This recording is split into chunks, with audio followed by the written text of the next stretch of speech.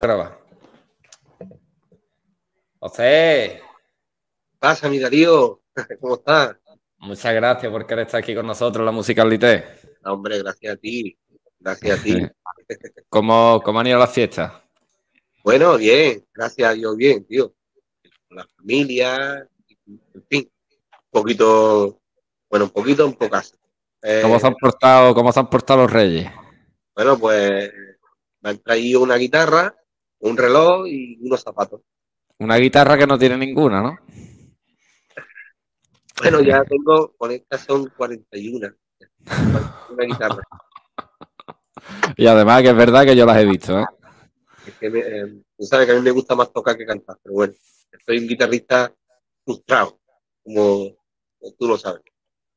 Bueno, a ver, frustrado. Yo te voy a decir una cosa, es mi humilde opinión, ¿vale? Yo siempre digo que las cosas que yo digo en mi canal, en mi opinión, en mi canal, yo soy Darío de decir, y aquí al final digo lo que quiero porque esto es mío, ¿sabes? Y yo no digo nada maldad, yo lo digo las cosas como las pienso, sin maldad ninguna de corazón. Pero yo no sé si tocas mejor que cantas o cantas mejor que tocas. Yo estoy ahí, ahí, ¿eh? Muchas gracias, tío, pero... Si no, me lo dicen los guitarristas de, élite, ¿eh? podía ser guitarrista fácilmente, pero yo lo veo tan complicado que cuando lo escucho tocar a ellos, digo, oh, no. con el cante me pasa lo mismo, pero me da menos, menos, ¿sabes? Me da menos reparo, ¿cómo te digo? Cuéntanos, José, cuéntanos un poquito cómo empezaste tú en el mundo de la música, ¿con cuántos años empezaste? Pues mira, yo, yo es que en el mundo de la música, mm, yo, yo, yo que empezaba a jugar de ya chiquitito, me, me, me, cuenta mi madre que, cuando yo empecé a andar, me quedaba dormido en lo alto de una radio, ¿sabes? Y me tenían que llevar, de, claro, me quedaba dormido en lo alto de una radio, escuchando la música, porque antes vivíamos todos, vivíamos todos en, en, ahora es un parque, antes eran casitas y vivíamos toda la familia. Entonces, cualquiera de ellos ponía, recuerdo que eran mi, los, niños, mis primos, los niños de mi tía Joaquina, que para descanse, que ponían, ponían ahí a, a Camarón. Yo me, cuentan que me iba para la radio y en lo alto de la radio me, gustaba pegarme a la radio y en lo alto me quedaba dormido.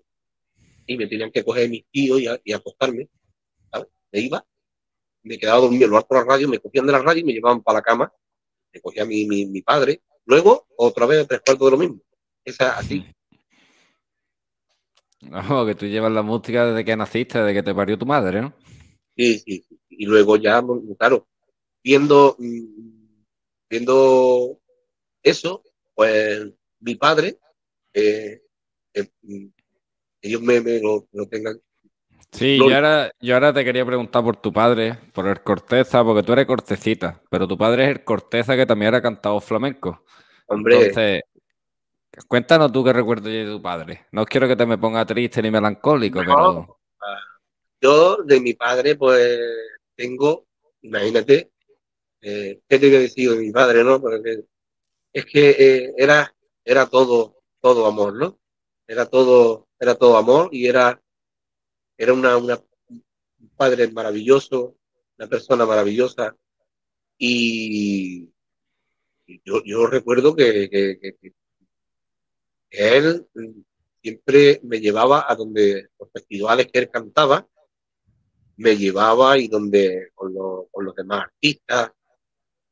Una, una vez recuerdo, era muy chiquitito, pero recuerdo que cantó con la mina y el pele. ¿sabes? Y hay una foto por ahí que estoy yo con el pele muy chiquitito. yo, no sé si tres años, tres años. Yo todavía cantaba, pero, pero me daba mucha vergüenza. Yo ya fue que mi padre, eh, claro, se dio cuenta de eso, de que yo jugaba con, haciendo compás, ¿no? Con los cartones. Y, y, y, y, yo, y, una vez, claro, en un, en un evento que se le hizo a Fosforito, con cuatro años me presentó mi padre y dice, el niño va a cantar, me puso en los carteles. Y entonces yo no me, yo no me llamaba Cortesita ahí.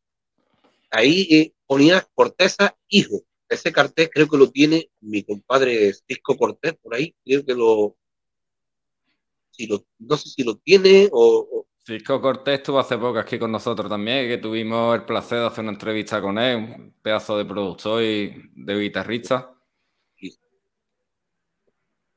Él estuvo hablándonos de ti, decía que, era amigo tuyo desde pequeño, que éramos amigos tuyos de chico, que tu padre éramos amigo de su padre. Sí, claro. Yo nos conocemos por toda la vida. Aquí desde el tipo de toda la vida. Y su padre, mi padre, pues, fíjate, íntimo amigo y, en fin, somos como, como familia. Y una pregunta que yo, porque hay mucha gente que, a ti te ha escuchado cantar por Camarón, ¿vale? Ahí lo estamos viendo detrás de las banderitas y eso. Pero lo que mucha gente no sabe es que tú a Camarón eh, ya no es que lo conocieras, es que erais vecinos y que además miraba mucho por ti. Cuéntanos un poquito tú qué recuerdas de Camarón. Pues recuerdos de Camarón que yo tengo son maravillosos porque fíjate que como, como sabe todo el mundo, Camarón no era de hablar mucho. Entonces yo mm, recuerdo que como vivíamos frente por frente por la calle Teatro, nosotros vivíamos en un patio de vecinos, a mí se me ocurrió una vez de quitarle a mi hermano la bicicleta y salir por, la, por la calle y recuerdo que Camarón me quitó la bicicleta y, no, no, no, por favor, esto, esto no, esto no, pobre tico mío. Y eso, eso, eh, eh, eh, era, era un, ser maravilloso, de una, de una, de una nobleza, ¿qué te puedo decir? Y esa, ¿Qué, es para ti Camarón, José? Camarón, para mí, fuerte, ¿eh? Camarón para mí es como un, padre, un maestro, una fuente inagotable, que, cada día mm, tengo que, tengo que escucharlo, tengo que beber, tengo que, ese sonido de, ese sonido de su voz que de verdad que yo no sé si a, a, gente le pasará, a mí por lo menos me pasa. Esto es tan mal y te levanta el ánimo y, es una fuente inagotable porque Camarón yo pongo sus discos y nunca, que nunca canta igual. Es que dice, ¿cómo va a eso? Eso, eso? eso está grabado eso ya está, está grabado, pero te lo pones y cada día te cuenta algo nuevo. Eso es, eso es, eso es hablar de, otro tema. José, mira, yo sé que tú, camarón, tú lo llevas metido en el sentido, ¿vale? ¿Tú me harías una letrita por camarón? A, ver cómo me sale, porque estoy, estoy vamos, que no, no puedo no Te quiero, no te quiero meter en el compromiso, ¿eh? Pero es que, sinceramente, cuando yo que soy un gran admirador de Camarón, ¿vale? Yo que estoy muy aficionado a él, a mí me encanta como, vamos, es un genio, igual que está Paco Lucía, está Camarón, está Beethoven y están los demás, son genios, ya no son maestros, eso es otro nivel. Pero sí que es verdad de que cuando quiero escuchar a alguien que por lo menos me recuerda Camarón, me gusta escucharte a ti, porque tu voz me recuerda mucho a él. por eso te pido que si me quieras una letrita. Muchas gracias, hombre, de verdad que, claro, a ver cómo me sale, porque tengo un resfriado que ya te digo. Vamos, vamos a verlo. te lo digo por tu bien, Torre Marta Callero.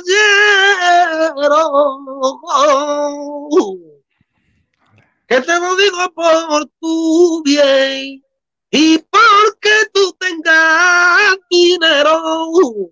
No me trates tú a mí con el pie, porque me indica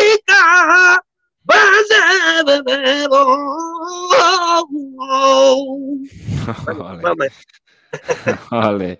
Mira, usted, mira, yo ahora voy a dar, eh, yo como siempre digo, ¿vale? Esta es mi humilde opinión, mi forma de entender la música y al final pues yo esto no hago nada con maldad, sino que yo esto lo digo con cariño, lo digo para mejorar siempre y que el flamenco al final si todos nos unimos, si todos nos dedicamos en serio al flamenco, poner flamenco donde se merece. Pero sí que es verdad, José, que a mí hay una cosa que a mí me duele mucho, me da mucho coraje, ¿vale?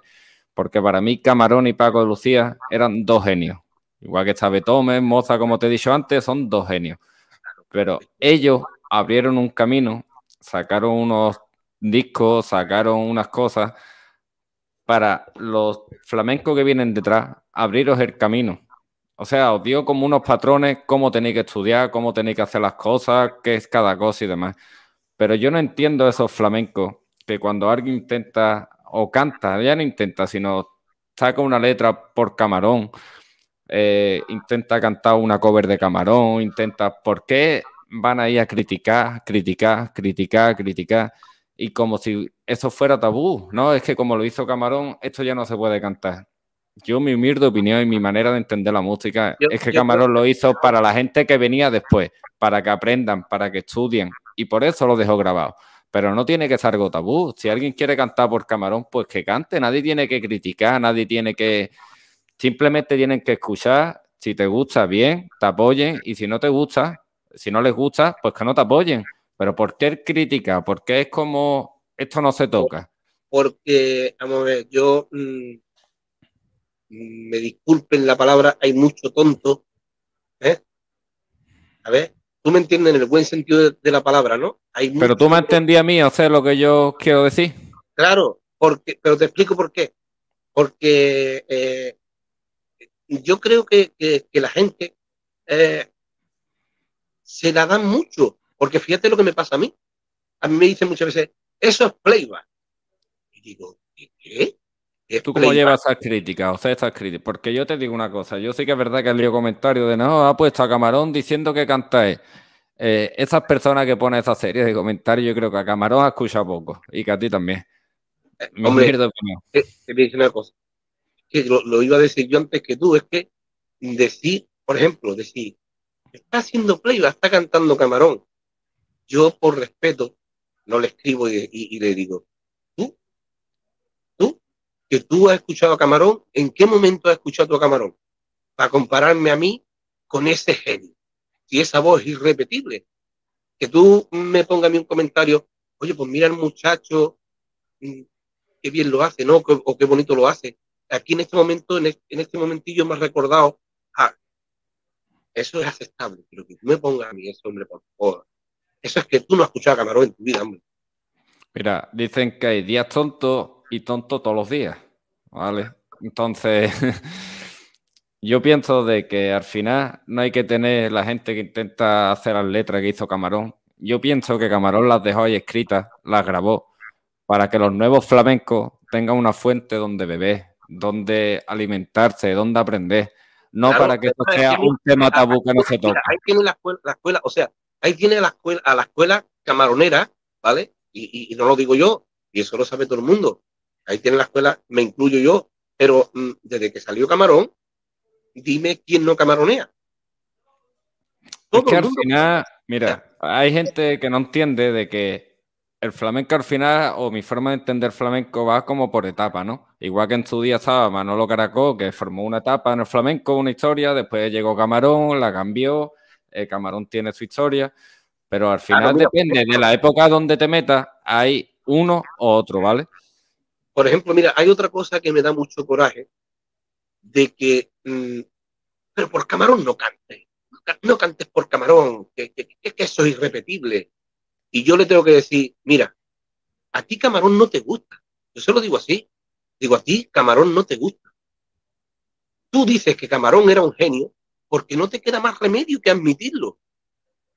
Porque mm, si cantan por otro, cantan por caracol, no pasa nada cantan por Mairina, tampoco pasa nada. Saca un tema, saca un tema Alejandro Sanz y te va un carajo que canta el corazón partido y qué gracioso es, mira qué gracioso lo ha hecho. No pasa Pero nada. Si ya saca un tema camarón, ya con, esto, oye, y con esto te digo que vivan esos artistas porque son, están ahí y son.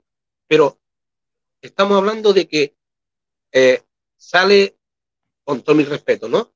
Con todo mi respeto, un mairenero, un fosforero, eh, que me encanta este tío, y que me encanta. Sale uno por camarón, ¡ah! eso es una copia absurda, es una copia absurda. Camarón es irrepetible. Camarón es irrepetible que a ti no te gusta. ¿Por qué? No te gusta porque, mm, vamos a ver, en, humildemente llevo muchos trayazos pegados, llevo desde los cuatro años en la música, ¿sabes? Y dice que Camarón cantaba bien porque ya no le queda más remedio que decirlo, ¿me entiendes? Porque si no, imagínate la que se le viene encima, ¿me entiendes? Entonces, canta, mira, por ejemplo, Marcelo, Marcelo Sousa, que eh, es un hombre, de verdad, que a mí me encanta estar con él y porque, oye, te, hace, es que es una fuente de conocimiento este hombre, Marcelo, ¿sabes? Y este hombre es mairenero. ¿Qué pasa? Ya no tiene eh, derecho a cantar este hombre, pues si tú supieras la de premios que tiene este hombre, la de discos que tiene este hombre, la de conocimiento que tiene este hombre, un encanto estar con este hombre y aprender, ¿sabes? Y a no, mí me da mucho coraje, José, de que lo que me quería referir con eso es que tú a lo mejor haces un tema eh, por camarón, ¿no? Y tú tienes la suerte porque el que diga, no, es que es un imitador, no es que yo a todo el mundo le digo lo mismo, a un imitador, pues hazlo tú. Hazlo tú a ver si eres capaz de hacerlo. Pero sí es que, o sea, eso no Pero ya no, ya no es solo por ti. Me quiero referir, por ejemplo, a Israel Fernández, que Angelito también está haciendo su camino, que está haciendo las cosas muy bien también. Pues no, es que viste como camarón, no es que es como camarón. Y yo digo, ¿qué os pasa con camarón? A ver, yo lo que no, yo con lo que no estoy de acuerdo, mm, eh, yo con lo que no estoy de acuerdo, eh, Darío, es que una persona, ¿vale? Porque también los hay, ¿de acuerdo? También los hay tú, sí, a lo mejor yo te puedo recordar, pero tampoco te ponga, a ver, no te ponga así con la cabeza agachada como él, no, no, no quieras tener las manos como él, no quieras, porque eso ya sí es una imitación. El querer ser como él, ¿me entiendes? El querer sentarte como él, el querer apoyar la cabeza como él, el querer mirar como él. Eso sí es una imitación y la gente pues tampoco es tonta y se da cuenta de eso. Tú me habrás visto a mí, me conoces, Tú me conoces a mí desde, que era un niño. ¿Tú me has visto a mí alguna vez, aunque yo haya tenido el pelo largo, peinarme como camarón? Jamás. Hay que tener personalidad. Yo sí, yo soy camaronero. Y te digo una cosa, sello propio. A mí me dicen, oye, Cortesita, tú tienes sello propio, ojalá lo encontrara. No tengo. Soy camaronero, ¿entiendes? Pero dentro, dentro de eso, pues intento aportar lo que tengo puede ser poquito, puede ser mucho, puede ser, en fin, cada uno da lo que tiene. Eh, ahí, ahí está, están, o sea, todas las culpas a veces van para mí, que muchas veces lo digo, ¿sabes? Te digo, y, y pero, pero, pero, pero, pero, o sea, ahí tiene, ahí tiene, ahí tiene a Duquende, ¿no? Que, que, que, que, creo que, o sea, más camaronero que ese hombre ya no se puede, ¿no? Pero, pero, pero, pero, sin embargo, o sea, tú, escuchas Duquende y dices, es, Duquende. Cada persona canta con, con su pulsación de voz, ¿me entiendes? Y con su... Es que, no, no eh, lo que tú dices, es que ella... No, por Camarón no se puede cantar. Camarón ha dejado un camino abierto a, a, todo.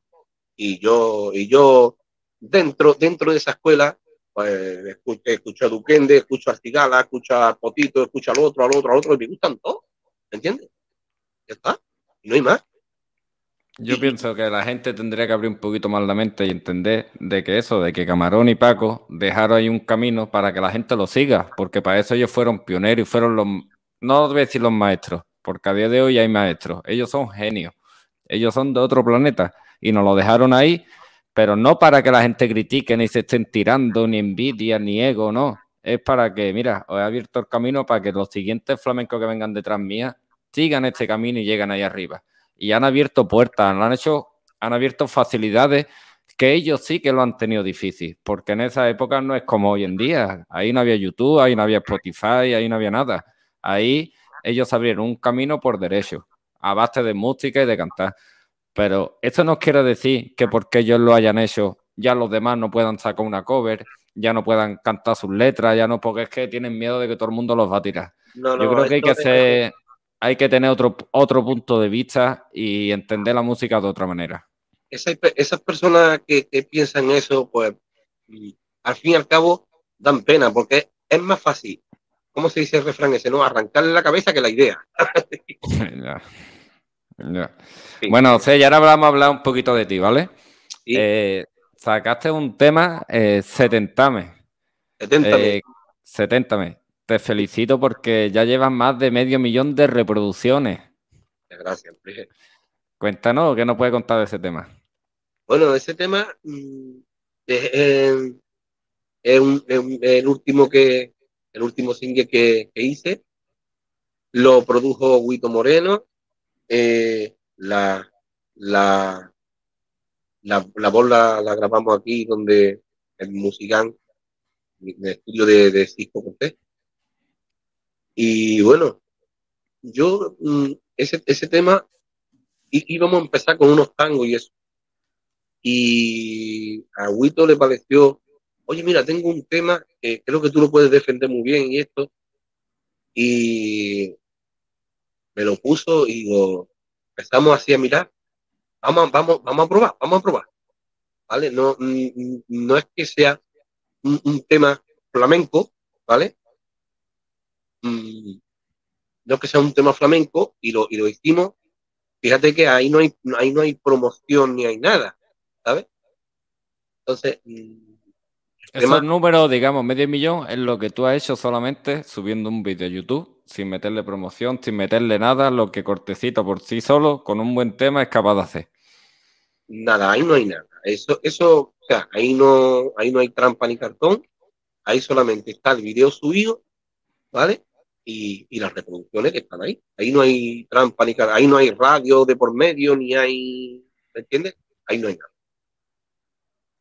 ¿Qué opinas tú, José, de, las fusiones que se están haciendo hoy en día con el flamenco?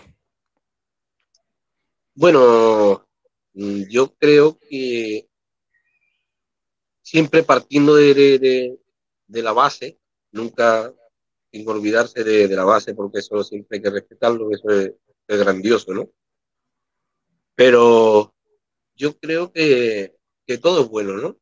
Y si lo enriquece, que yo creo que el flamenco es una música que puede que se puede adaptar a todo, a todo tipo de música. Entonces, ahora que tú dices que el flamenco se puede adaptar a muchos tipos de música, yo recuerdo un vídeo que tú subiste en el que estabas criticando a Rosalía. Eh, ¿A día de hoy sigues teniendo la misma opinión? No, no, porque claro, yo a mí me preguntaron, yo em, de Rosalía lo que conocía era lo de malamente y estas cosas. Entonces yo, claro, como había escuchado eso y, deduje que lo que cantaba era eso, digo, esto no, es flamenco. Pero claro, luego, como ya, es que si hace flamenco, si hace Luego me, me, indagué, me empecé a indagar y, o sea, Rosalía le dice, canta un taranto y te lo canta. Canta una malagueña, canta. Canta por bulería, canta en el disco ese de, mm, se llama? Motomami. Motomami. Hace un, hace un fragmento de, la bulería de, de, Camarón, eh, de la bulería de, que hace Camarones, por ejemplo, ¿no? Para ponértelo, eh, o sea, para las bulerías son de la perla, ¿no? También quiero un pitazo, también, ¿no? Pues eso, eh, eso, eso lo hace. Entonces, que su manera de ejecutar a uno le guste más, a otro le guste menos, a otro le sea más agradable, le sea menos, pero cuando quiere, sigue haciendo ya te digo, que cada cual, mm, claro, eh, tú sabes que el, libro del gusto está en blanco. Pero cuando esa muchacha quiere hacerlo, lo hace. A unas personas les guste más o, que, o que otro le guste menos, pero de hacerlo, lo hace. Ya te digo, es la manera de ejecución que ella tiene. Para serte sincero, a mí pues, me resulta también un poco, mm, ¿cómo te digo? Porque nunca lo he escuchado de, ejecutar así. Entonces, pero eso ya depende de cada persona. Pero hace mí cuando quiere, cuando quiere. A día de hoy, José, Eh, bueno, eh, hay mucha gente que está conocido por 70 y eso, pero ¿cuántos discos tiene Cortecita ya grabado? Tengo, tengo, yo tengo, tengo muchísimos discos.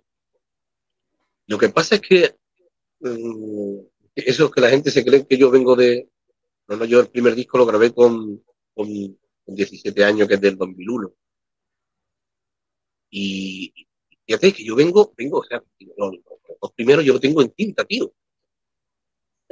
Es que la gente tiene que entender de que sí, que hoy en día está YouTube, está Spotify y demás, pero es que hace unos años el flamenco, tú grababas un disco, tú vendías tu disco, tú tal. No es como hoy en día que llegas tan fácil a todo el mundo. Pero yo que te conozco, yo, bueno, aparte que te conozco hace muchísimos años, ya te escuchaba antes de conocerte. Yo me acuerdo del disco de un disco tuyo que era entre guitarras y cantes. Sí, ese es uno de ellos. Pues ese me lo regaló a mí un profesor mío cuando yo estaba en el instituto de biología y me dijo, mira, ¿te gusta el flamenco? Yo sé que a ti te gusta el flamenco, tal y cual, toma, te voy a regalar este disco, verás, escúchalo, mira que me encanta. Y yo ahí todavía no te conocía, después sí que es verdad que yo te conocí o que hace muchísimos años que te conozco, pero a ti se te ha escuchado siempre el cortecita. Y hay mucha gente que se piensa como que tú estás empezando y no, por eso quiero que tú por lo menos cuentes un poquillo pues, cuántos discos tienes y, y demás. Pues tengo, tengo grabado 18 discos y 8 que, dice muy pronto, ¿no? Pero están ahí grabados. Entonces, pues, donde, donde, donde e incluso hay, hay, hay gente, hay gente fuerte, o sea, hay gente fuerte que, ¿Qué gente ha participado en tus discos en estos años? Mm, me gustaría que eso, en los discos que, están ahí y que vamos a, que vamos a poner, que ellos mismos lo descubran, ¿vale? Eso me gustaría que, ellos mismos ahí, porque ahora que vamos, que, los vamos a, le vamos a dar caña a esos discos también, me gustaría que la gente, pues por ellos mismos, sabes, que lo vean, oye, mira, eh, en este año grabó con este, yo no lo sabía, ¿sabes? Me gustaría que la gente lo, vi, lo viese por eso, ¿sabes? Y de todos tus discos, de los temas que has sacado y demás, si tú tuvieras que quedarte con un tema que tú digas, este es muy especial para mí, ¿cuál sería? Pues, pues hay, hay, un disco que tengo eh, que se llama Niño Prodigio, pero no, no, eh, alguna gente piensa que es por mí, no, no, no, porque mm, mm, a mi hermano le venía en camino y pensábamos que era un niño, ¿sabes? a, mi hermano, a mi Juan, pues su mujer se quedó en estado y pensábamos que era un niño. El médico que le hacían y no, y no, no, no podían decirnos, es que no, es que no se deja ver, ¿sabes? Y pensábamos que era un niño. Entonces yo mm, digo, este niño va a ser un prodigio porque yo lo voy a, ¿sabes? Y, y, y le puse el disco El Niño Prodigio. Ese ese disco, yo estoy ahí tanto con mucha... Estaba en un muy buen momento de mi vida también, eh, muy emocionado, muy, bien, muy bien de voz y, ese disco me gusta mucho. Niño prodigio. ¿Con quién te gustaría grabar un tema, Cortecita? Porque yo, por ejemplo, he visto un vídeo, ¿no? Que subiste tú hace unos meses, que era con Diego Orcigala y Esperanza, y la verdad que los dos juntos suena increíble, vamos, suena muy bonito. ¿Cómo, cómo salió ese vídeo? Ese vídeo mm, surgió de, una idea, porque ya ves tú, ese, lo está cantando en un cacho en su casa y yo otro cacho en el estudio de, del circo, ¿sabes? Y, en fin, se montó ahí y fíjate, ¿no? Y se, el, se habló, se habló porque además tú sabes que, nos llevamos muy bien. Eh, sí, yo sé que Cigal y tú os lleváis muy bien. Y, unos cuantos más. En fin, y, se habló de, estamos, estamos intentando de buscar qué le viene bien a él y qué me viene bien a mí para hacer un temita los dos ahí, ¿sabes? Estamos, ¿sabes? de hecho, la otra noche estuve hablando con él, sí, con el Diego, sí. Y yo te quería preguntar, José, eh, hablando de lo de antes que hemos estado comentando el tema y eso, con lo de los flamencos, lo de Camarón y demás, ¿cómo llevas tú el tema de las críticas? Eh, en plan, cuando la gente tú a lo mejor sube un vídeo, ¿no? Que lo haces con todo el cariño, que has estado ahí ah, grabándolo como puedes y eso. Eh, y después recibes comentarios como, mira este, que ha quitado la voz, o, sea, que, ha subido con la voz de Camarón y se creen que, que es él, que no sé qué, como tirándote como que es mentira. Ese tipo de crítica, ¿tú cómo la, cómo las llevas? Yo, yo es que me río, ¿sabes? Me río en el sentido de decir, pero bueno, e, e, ¿esta persona qué le pasa? Este no ha escuchado a Camarón en su vida. ¿Cómo se le ocurre este, de, compararme a mí con, con, ese genio, ¿no? O sea, totalmente loco.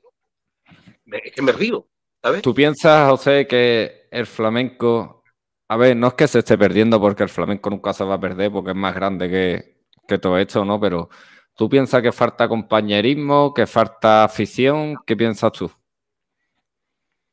Hombre, compañerismo, sí que, sí que es cierto que, que ahora lo que creo que deberían, deberíamos de, unirnos todos, todos los artistas y, bueno, perdonadme por lo de artistas que yo me, soy el más aficionado del mundo. Pero pienso que todos los que, todos los que estamos intentando hacer algo por el, por el flamenco, pues deberíamos de, unirnos y lo que y lo que sea de uno que sea de todo, que, que hay mm, gente por ahí que no han llegado ni, ni, ni, ni, a la cuarta parte del camino y ya se creen que tienen todo el camino hecho. Y eso es una equivocación muy grande, yo, yo pienso que mm, ahora que me, que me has dicho esto, me viene, me viene cuando, cuando yo vivía allí en, en la línea, tira, eh, salía una actuación, oye, y no importa, no, no, no, no importaba, tío. Que venía Rafael, me llamaba por teléfono, y a lo mejor yo estaba la casa viendo una película o escuchando.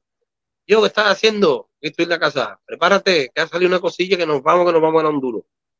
Y lo mismo hacía, eh, lo hacía el bronce, que lo hacía el Salvi, que lo hacía, mm, que lo hacía la Rocío de Tarifa, la bailadora, que lo hacía pues, todos los que hay allí.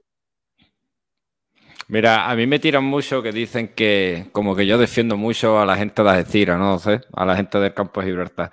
Que yo digo, no es que los defienda, es que yo pienso que aquí hay muchísimo talento con los chicos que es esto, y aquí han salido de artistas que esto no es normal, y al final pues siempre nos tachen de los que nos tachen, ¿no? De lo que le interesa a la prensa. Pero sí que es verdad de que yo dije en un vídeo de que yo pienso que aquí en el campo de libertad, en, la, Cádiz, digamos, en la zona de Cádiz, ¿vale? También metemos a Jerez, metemos todo el puerto, en fin, hay muchos sitios en Cádiz, ¿vale? Yo no digo que seamos mejores ni que seamos peores. Al final, para gusto colores, pero yo sí que digo que nosotros tenemos un aire diferente. Nosotros somos diferentes al resto pero no es que seamos mejores, somos diferentes. Tenemos nuestro aire y tenemos nuestro aire y tenemos nuestro rollo. Unknown 613748663 Iscalín. Te están llamando. Te están llamando. Unknown 613748663 Iscalín.